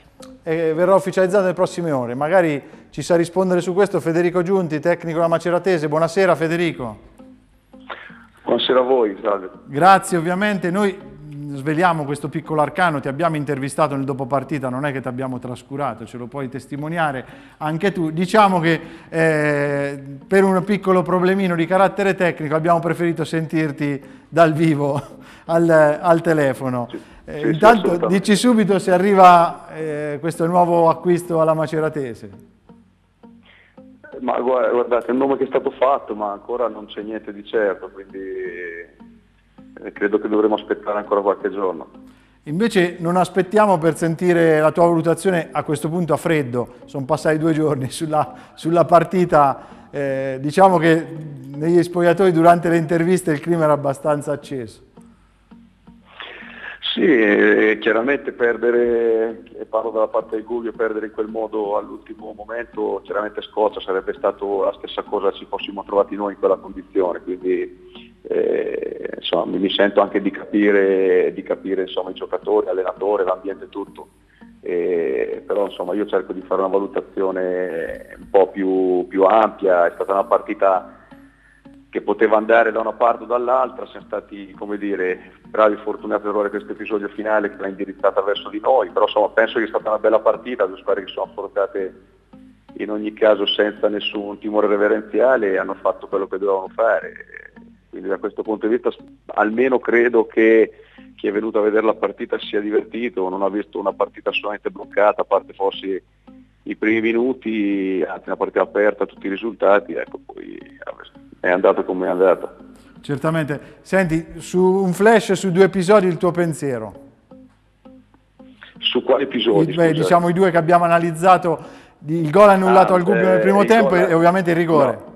Sì, allora il gol annullato al Gubbio, cioè io ho per me talmente chiara la situazione che non è neanche come dire, da, da, da, da parlarne, però chiaramente che il guardaline, credo Federico Barontini abbia dato l'interpretazione giusta, eh, se, se, se, fate il fermo immagine, perché me lo sono rivista almeno dieci volte, sul rinvio di Forte, poco prima che sta colpendo di testa Rinaldi, si vede chiaramente che Ferretti è un metro o due più dietro di eh, Ventola e di eh, Berna, che sono i due che, che sono ripresi dall'immagine, non si vede Gattari, ma questo mi porta a pensare che il guardaline vede il fuorigioco di Ferretti poi la palla schizza parte, verso la porta, Ferretti dal momento che entra e che va verso la palla, chiaramente il guardalini attende perché questa è la nuova regola, la nuova disposizione che viene data, è costretto ad alzare la bandierina se ha visto fuori gioco e che è quello che è accaduto, quindi non, è, non si può neanche parlare di, cioè, di gol annullato. E sul rigore? Eh, sul rigore che vi devo dire, un rigore che chiaro al novantesimo si può dare come non si può dare perché non è così scandaloso, però insomma eh, non, non, non, saprei, anche dall'immagine della televisione si, si, capisce poco. Il mio giocatore chiaramente mi posso basare su quello che ha detto lui, che, che le mani del portiere chiaramente lo, lo prendono, però cioè, qui mi fermo perché non, certo. non è questo. Sull'altro, sull'altro, episodio sono quasi certo che le cose sono andate in quel modo, quindi eh, son, insomma non, non è, da parte mia non è neanche cioè, commentabile. Ecco. No, poi certo, poi gli allenatori vedono la partita ovviamente a 360 gradi e sui 90, sui 90 minuti. È comunque eh, un campionato molto equilibrato, così a inizio apro anche il, il capitolo eh, campionato con gli ospiti, ma eh, comincio proprio da Federico Giunti che è al telefono. Stiamo sentendo con la nostra Claudia che la Reggiana sicuramente tra le più quotate squadre sta perdendo a Padova, un Padova che so, qualche settimana fa abbiamo visto a Gubbio, francamente eh, non ci ha fatto, ha fatto una bella impressione, anzi dicevamo la Maceratese se l'è giocata mentre il Padova si è stato rintanato nella propria metà campo praticamente per 90 minuti. Eh, quando ci si capirà qualcosa di questo girone Federico? Ma eh, intanto hai parlato di due squadre che una l'abbiamo affrontata lì a Padova e una l'affronteremo proprio sabato, quindi io part- stavo guardando la partita, per quello qualche battuta vostra me la sono persa e, e stasera il Padova sta facendo una partita totalmente diversa da quella che ha fatto a Gubbio perché ha affrontato la Reggiana a viso, a viso aperto, la sta giocando e i risultati sta dando ragione e quindi come dire, sono squadre però queste costruite per fare un altro tipo di classifica rispetto alla nostra e probabilmente in partenza anche rispetto a quella che doveva essere del Gubbio. Il Gubbio però sta dimostrando questo primo scorcio di campionato che il, come dire, eh, l'ho detto anche a te quando ci eravamo sentiti, il, il proseguimento della stagione scorsa e del progetto tecnico partito l'anno scorso sta dando dire, i suoi frutti anche quest'anno perché chiaramente partire con un blocco di giocatori eh, della passata stagione con lo stesso allenatore, quindi con una squadra che già conosce quello che, eh, che vuole il proprio allenatore e chiaramente sono stati inseriti poi altri giocatori, eh, va da sé che eh, è una squadra che è sicuramente in vantaggio rispetto alle altre e non mi stupisce infatti la classifica che ha il Gubbio. Un'ultima battuta Federico, un'ultimissima battuta, eh, è veramente una, vuole essere una battuta. I tifosi del Gubbio eh, cantavano noi vogliamo questa vittoria, i tifosi a Maceratese cantavano noi vogliamo un presidente. Io non ti, non ti chiedo ovviamente di però insomma la situazione eh, si, eh, si tende come dire a chiarirsi a Macerata sul piano così generale, quello che puoi è dirci. vero che è ormai da un mese che va avanti una trattativa con una cordata eh, che anco- della quale ancora non si conoscono gli attori principali. Abbiamo conosciuto di persona solo gli intermediari, sono degli avvocati che fanno da tramite per portare a buon fine, ma qui mi fermo perché, come dire, ad oggi il nostro punto di riferimento resta assolutamente la Presidentessa Tardella che ha tuttora eh, le quote di, di maggioranza della società, quindi Vedremo. questo è quello che vi posso dire. Vedremo. Federico in bocca al lupo e, e noi ti aspettiamo un- uno di questi lunedì anche a Gubbio. Va bene, Va bene? A presto, buon lavoro. Con rientro degli attaccanti infortunati, Ferri Marini riprenderà il suo posto, Casiraghi arretrerà nel suo ruolo a centrocampo a sinistra e finalmente vedremo il vero Gubbio con un centravanti, Musto Candellone. Questo tifoso ha le idee molto chiare, ti ha già trovato il posto Daniele, quindi insomma tu sei, eh, sei sistemato. L'importante è che non ti metti in panchina, in fondo no? È giusto, è giusto così. Tra l'altro aggiunge l'assenza di Rinaldi, che sarà certa eh, sabato prossimo ad Ancona, permetterà di rivedere Calombo terzino destro, giocatore su cui puntare, visto l'ottimo inizio con Suttirolo e Lumezzane. A meno che non sia Maggi a scriverci, insomma, staremo a vedere. Può darsi anche che il mister ci mandi messaggi sotto mentite e spoglie. Sempre 2-0, Claudia? Sì, sempre 2-0. Sempre 2-0, noi però dovremmo avere, se non salto la scaletta, la nostra telepromozione, giusto? Di uno dei nostri sponsor con la telepromozione Tutto Cartucce, linea alla regia.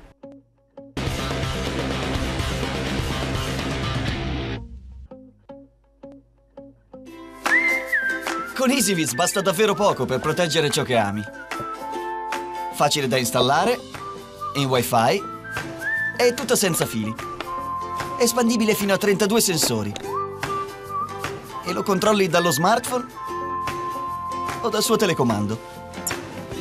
Ah, se aggiungi la piccolissima C2 Mini, quando scatta l'allarme vedi subito cosa accade. Proteggi ciò che ami con EasyViz. Vedrai com'è semplice e accessibile avere il tuo mondo sempre a portata di mano. EasyVis connette la tua casa in modo facile, accessibile e con video ad alta risoluzione. Le telecamere sono easy to use, affidabili e immediatamente connesse. Condividi la tua vita ovunque tu sia. Con EasyVis non perderai i primi passi di tuo figlio anche se sei a fare la spesa. Puoi controllare il tuo cane quando sei fuori. Non possiamo sempre essere vicino ai nostri cari, ma possiamo condividere i momenti più importanti. Con EasyVis il tuo mondo è sempre a portata di mano. EasyVis, Happy Your Life.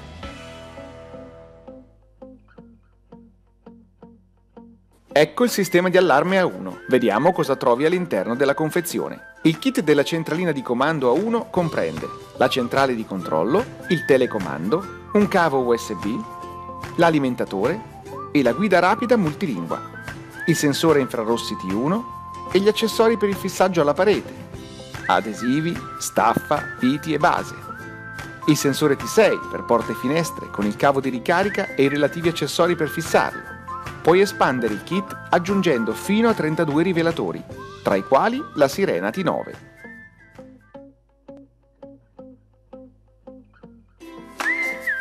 Con EasyViz basta davvero poco per proteggere ciò che ami. Facile da installare, in wifi e tutto senza fili. Espandibile fino a 32 sensori.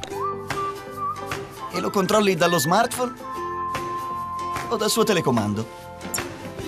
Ah, se aggiungi la piccolissima C2 Mini, quando scatta l'allarme vedi subito cosa accade. Proteggi ciò che ami con EasyViz. Vieni a scoprire la soluzione più adatta a te da Tutto Cartucce.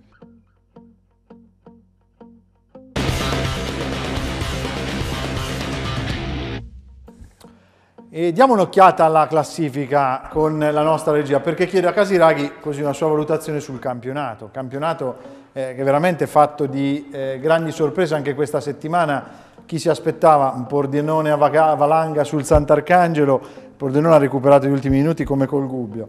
Un Gubbio sulla Maceratese sappiamo com'è andata, la San Benedettese ha stentato tantissimo, lo vedremo tra poco col Sud-Tirol, il Venezia ha vinto ma soffre sempre e il Parma non ne parliamo, insomma ancora è dura leggerlo il campionato. Sì sì no, è un campionato veramente equilibrato, e infatti la classifica è molto corta ancora e puoi vincere, perdere con chiunque, e, e sono tutte partite che, che, si giocano alla pari e mm, gli episodi alla fine fanno la differenza. Federica, meglio o peggio per una squadra che deve salvarsi che il campionato sia equilibrato? Il Gubbio deve salvarsi intanto. Sì, penso che l'obiettivo dichiarato, anche giustamente, sia quello. Ma no, probabilmente vista la posizione del Gubbio, se la classifica si fosse già spezzata magari in due tronconi sarebbe stato decisamente meglio. E con la classifica ancora così corta, diciamo tolto il Forlì, bastano due partite per ritrovarsi magari in una zona un pochino più pericolosa, ma io credo che il Gubbio visto anche sabato nonostante, nonostante il risultato finale è un Gubbio che mh, quello che, che, mi piace, l'ha sottolineato anche Magi, e che si vede è che è una squadra che mh, cerca di impostare l'azione dal basso, dal portiere, con i centrali che si allargano. Io credo che alla lunga, io che vengo anche dal settore giovanile per cui queste cose si cerca di insegnarle, credo che alla lunga sia... Mh, il modo giusto per, eh, per, ottenere dei risultati. Per fare strada. Sì, secondo me sì, cercare di giocare la palla. Poi credo che oltretutto per, eh, per l'organico che hanno non possono neanche prescindere da questo, cioè non avendo magari il classico centravanti di riferimento come può avere anche la Maceratese perché Colombi onestamente mi ha fatto una bella impressione lì davanti. Quindi credo che il Gubbio, cioè a me onestamente è piaciuto al di là di alcune cose che andrà certamente a migliorare, insomma a perfezionare, però una squadra che, mh, che, è imposta da dietro, una squadra che cerca di giocare. Anche piacevole a vedersi. Sì, sì, no, è stata, diciamo che è stata dal ventesimo del primo tempo al quindicesimo, ventesimo della ripresa, diciamo è stato un tempo di, di un bel gubbio e di una bella partita. Eh, Riccardo, eh, il Forlì eh, sembra l'ultimo, è, ma intanto lo vedremo tra poco, ha fatto tre gol al Parma, cioè nessuna partita è... sì, vinceva 3-2 insomma. Sì, ma l'abbiamo visto anche in queste nove giornate del Gubbio, nessuna partita è scontata e soprattutto ancora non si sono visti i valori di, delle squadre che vengono insomma, date per la maggiore perché come hai detto tu eh, il Parma sta facendo fatica, il Venezia non è che ha convinto molto, la Reggiana la vediamo questa sera che sta perdendo con il Padova, quindi per adesso è tutto molto equilibrato, ma io sono convinto che eh, perlomeno per come ho visto il Gubbio fino adesso, eh, il Gubbio eh, per ora si merita ampiamente la classifica che ha, perché eh, ricordiamo che abbiamo perso eh, un paio di partite al 93esimo e quindi eh, potevamo, potevamo, avere benissimo due o tre punti pure in classifica, essere davvero primi in classifica. Quindi secondo me per ora stiamo mantenendo le attese della vigilia e anzi eh, siamo sopra le attese, quindi non credo che abbiamo per ora grandi problemi. Io chiedo invece a Luca, tra poco vedremo i gol, però chiedo se ci sono tifoserie da bollino rosso. Sì in questo sì, girone? Sì, già, già, le abbiamo schematizzate. Abbiamo... Qualcuna è già passata? Mm, sì e no, a me la San Benedettese era un pochettino a rischio, però abbiamo il Termo sicuramente, l'Ancona, eh, abbiamo delle partite, 5-6 partite da tenere sotto controllo. C'è stato il Padova che insomma, ci riporta indietro a quella partita di Serie B. Sì, anche lì il, e quelli che quel giorno avevano fatto erano presenti ah, ecco. sì, sui spalti. C'erano tutti. Eh? Non, so, non, si sono dimenticati. Però lì era stato qualcuno della Lega che aveva fatto quella grossa sì, confusione, che aveva dato i biglietti aveva sbagliati. Messo, Tanti gol, tante prodezze, ma anche qualche incertezza. Il portiere del Pordenone ha passato un brutto sabato e anche diversi rigoristi. Abbiamo Casiraghi, possiamo dirlo che sei tu il rigorista del Gubbio, visto che ti abbiamo visto l'unica volta che è stato dato un rigore al Gubbio. No, eh, diciamo che li, siamo parecchi in squadra che li calciamo, li calciamo bene. Poi la domenica chi, chi, se la sente... O il sabato. O il sabato, sì, sabato la domenica. chi se la sente tira, insomma. Sì. però insomma se- secondo me ci torna Casiraghi sul dischetto. Mi diceva Federico che hai visto diversi rigori ben tirati. Sì, no, il suo appunto, quello stesso di Colombi al novantesimo, eh, piattone sotto l'incrocio, ho visto quello in settimana nel recupero di Loviso proprio de- contro la Maceratese, un altro interno piede sotto l'incrocio, ho detto ma probabilmente con la nazionale se andiamo a rigori possiamo pescare anche in Lega Pro qualche Eh sì, buon rigorista. Esatto, sarebbe, sarebbe una, buona, una buona idea. Tra poco daremo un'occhiata al prossimo turno, prima abbiamo l'ultimo flash pubblicitario, non prima però di un aggiornamento con la nostra Claudia. Sì, siamo al- quasi alla fine della partita Padova-Reggiana, sempre 2-0, 5 minuti alla fine. 5 minuti a chiudere, poi vedremo prossimo turno e soprattutto non perdete il rosso e il blu perché rivedremo immagini dannata di Ancona Gubbio che è la partita di sabato, insomma avremo modo di parlarne tra poco.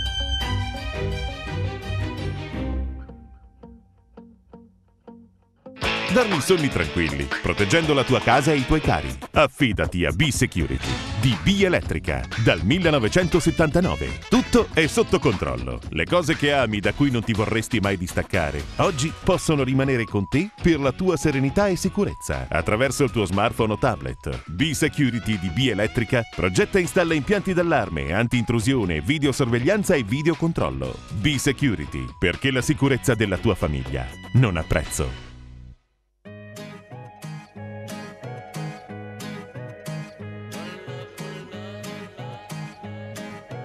Nofri Auto. Auto nuove usate chilometri zero e veicoli commerciali. Assistenza diretta.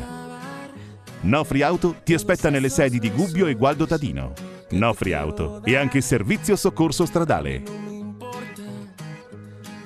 Nofri Auto, la serietà di sempre. Sabato e domenica presentazione della nuova Megane Sporter.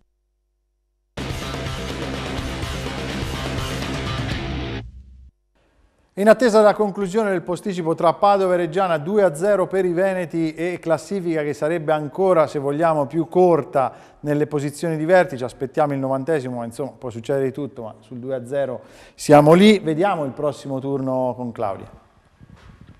Su Tirol Pordenone, Terano, Teramo Albino Leffe, Lumezzane Forlì, Sant'Arcangelo Padova, Reggiana Maceratese, Ancona Gubbio, Feralpisalò Fano, Bassano Virtus San Benedettese, Parma Mantova, Modena Venezia. Ecco, se lasciamo la schermata ci sono gare, oltre ovviamente ad Ancona Gubbio, molto interessanti perché abbiamo sentito eh, Giunti vuole andarsela a giocare anche a Reggio Emilia e ne ha ben donde. Eh, il Pordenone va a Bolzano e soprattutto spiccano, secondo me, Bassano, San Benedettese e anche, e anche Modena, Modena Venezia. Partite molto interessanti, praticamente Daniele tutte la tripla. Sì, eh, quasi.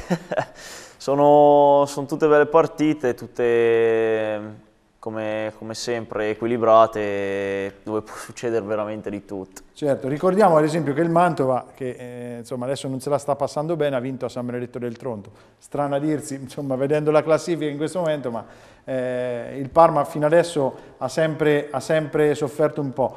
Eh, Federico, se dovessi giocare un euro su una squadra da qui alla fine del campionato, è Mm. davvero im- impossibile? Ma io l'idea che mi ero fatto inizialmente era che il Venezia potesse alla lunga avere qualcosa in più delle altre, però, però insomma ci sono squadre, ci sono squadre e anche lo stesso Parma che secondo me alla lunga quando è alle spalle le tradizioni è chiaro che non giocano, non vanno in Certo. campo, però quando ci sono queste piazze a livello anche qualora ci fosse bisogno, penso che nel mercato di riparazione sono quelle società che sicuramente possono, possono attingere anche su un discorso insomma, di, di, di, entrate, di pubblico, di, certo. di questo tipo, per cui me le aspetto che un pochino più avanti verranno fuori.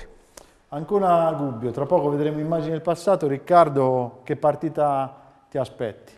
Intanto mi aspetto un bel cielo sereno per sabato, quindi... Poi parliamo anche di meteo. no, no, no, a parte gli scherzi. Un lo facciamo, insomma. Rick Meteo, speriamo, sei tu, insomma, su Facebook. A parte gli scherzi, no, io mi aspetto che il Gubbio continuerà il trend di, delle partite fuori casa, perché secondo me, eh, per come la penso io, il Gubbio, eh, diciamo, sulle, sulle ripartenze, sul, quando eh, si trova un avversario che è costretto a fare la partita e quindi in questo caso l'Ancona dovrà fare la partita perché si trova in una situazione di classifica eh, diciamo abbastanza indietro dal gruppo di testa, quindi se vuole recuperare un po' eh, dovrà cercare di vincerla, quindi secondo me il Gubbio eh, si troverà in una condizione tale che quando gli si aprono gli spazi davanti con, eh, eh, con Daniele, con Ferretti, con altri elementi che abbiamo davanti sicuramente possiamo portare a casa il risultato.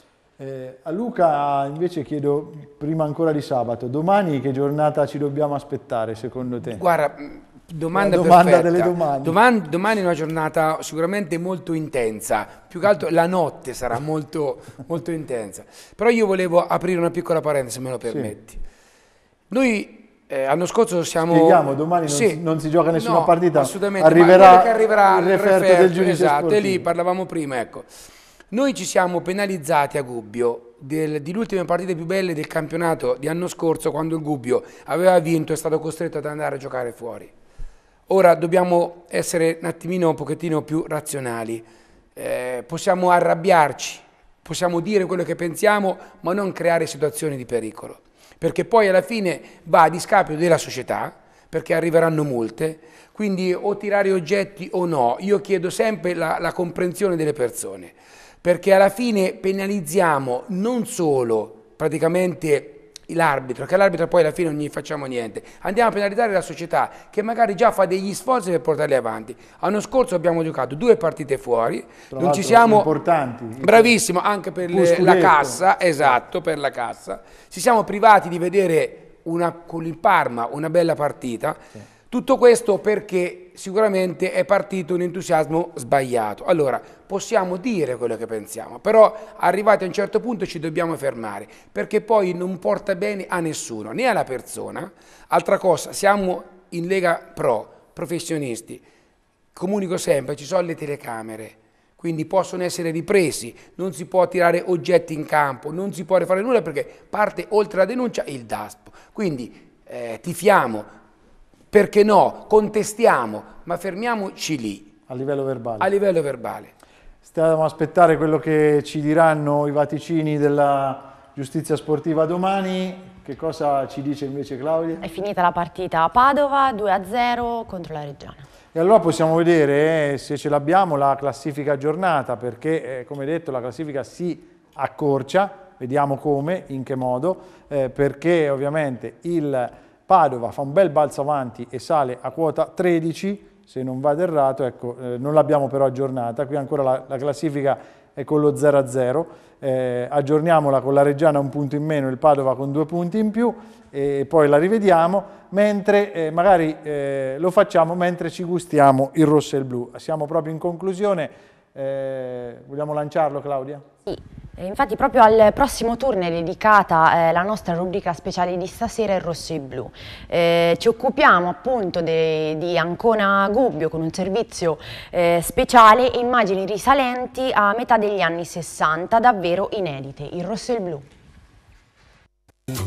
Il rosso e il blu, a cura di Giacomo Marinelli Andrioli.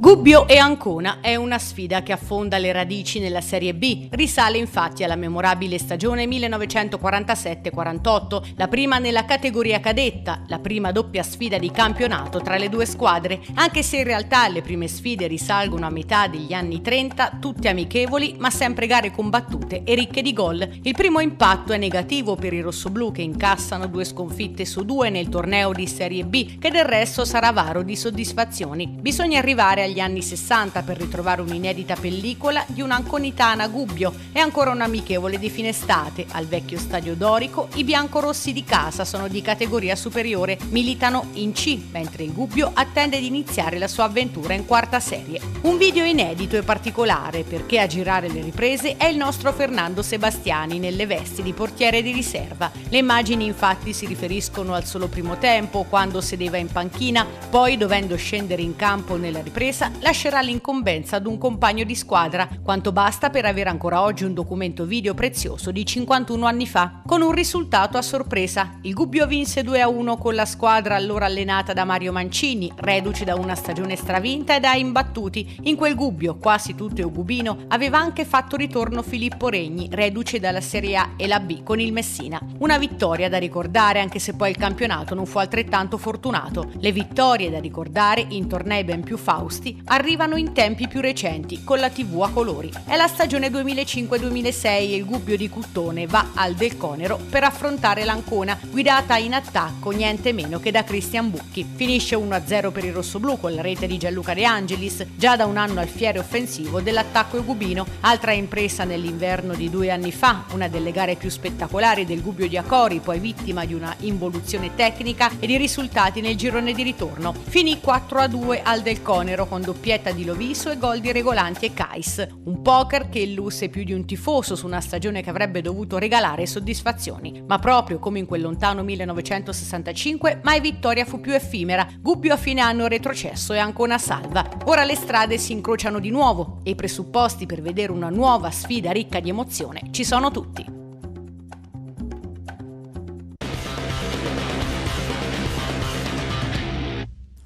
E dopo questo fugace viaggio nel passato chiedo a Daniele un po' le motivazioni anche di questa partita per te. Lo scorso anno eri ad Ancona, sicuramente una gara speciale. Sì, sì, sarà una bella emozione tornare a giocare al Del Conero, dove l'anno scorso mh, mi sono trovato benissimo ad Ancona. Con la coppia Tasso-Cornacchini, Esatto, ricordiamo, sì. adesso sono a Viterbo. Eh, però quest'anno ci torno da avversario e speriamo di riuscire a fargli gol. Un po' come quel 4-2 tu c'eri Sì, in quella sì, partita, è sì. stato un grande gubbio, dobbiamo Sì, sì, sì, no, era quel periodo dove andavamo veramente alla grande. alla grande. Poi nel Eh. ritorno purtroppo è successo davvero di tutto e di più, forse di niente, eh, perché il Gubbio è rimasto al palo. A Federico Barontini gli chiedo invece due parole eh, un pochino su eh, questa, questa stagione che per la squadra che ti vede capitano culminerà a dicembre. Abbiamo anche qualche foto, parliamo della selezione giornalisti, però siamo scudettati, possiamo dirlo, no? Eh sì, dobbiamo andare Eccolo cercare di mantenere, di mantenere il titolo che abbiamo conquistato lo scorso anno, con fatica, perché è stata la prima volta che non ha vinto diciamo, la selezione del Lazio.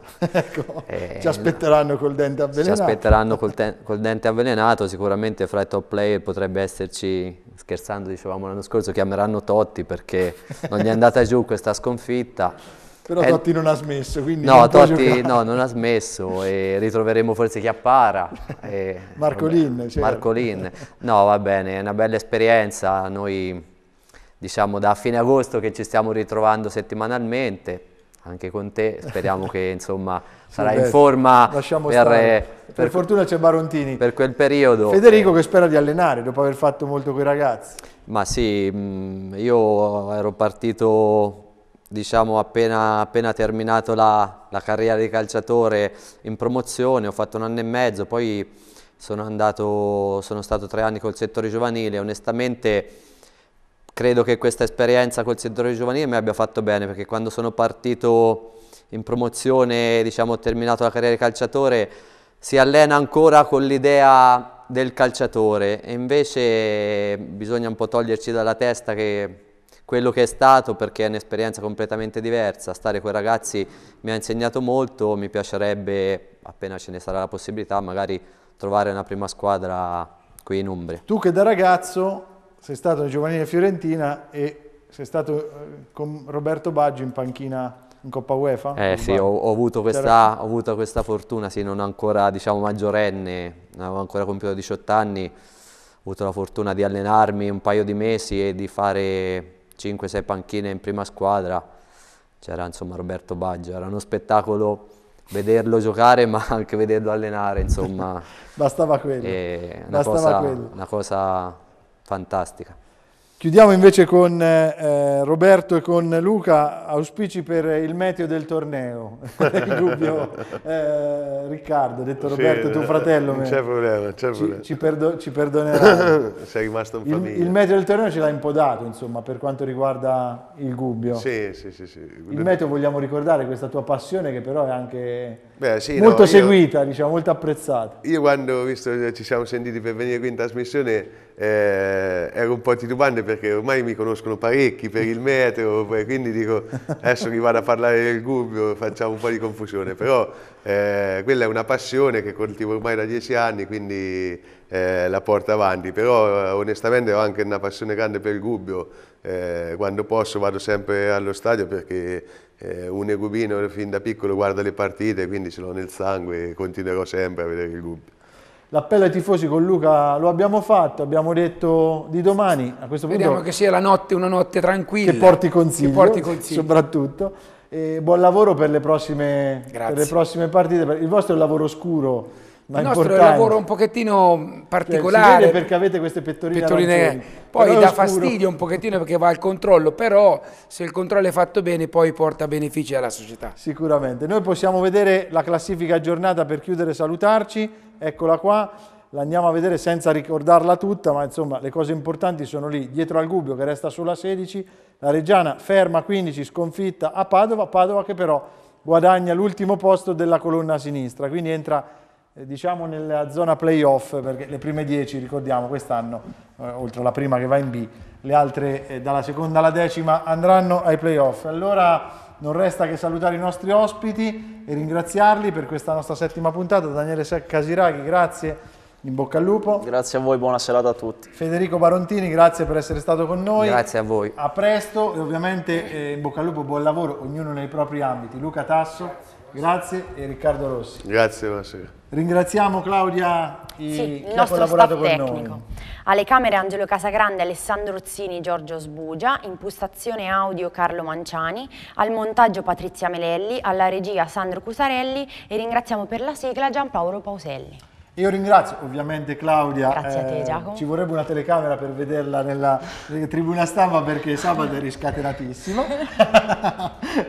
Facciamo così un, un, retroscena. Io ringrazio ovviamente chi ci ha seguito. Noi torniamo ogni lunedì alle 21, in replica il martedì alle 14 e poi eh, sempre alle 21 ma sul canale 111. Se vorrete siamo anche su internet sempre dal martedì su trgmedia.it. Grazie e noi ci ritroviamo lunedì prossimo. Música